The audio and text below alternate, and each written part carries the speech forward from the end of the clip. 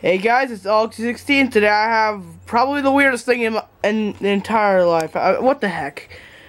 I love glitching out Sonic games, but what the heck is this? Mustachio Blue Knuckles. Look at this. I'll, I'll zoom for you.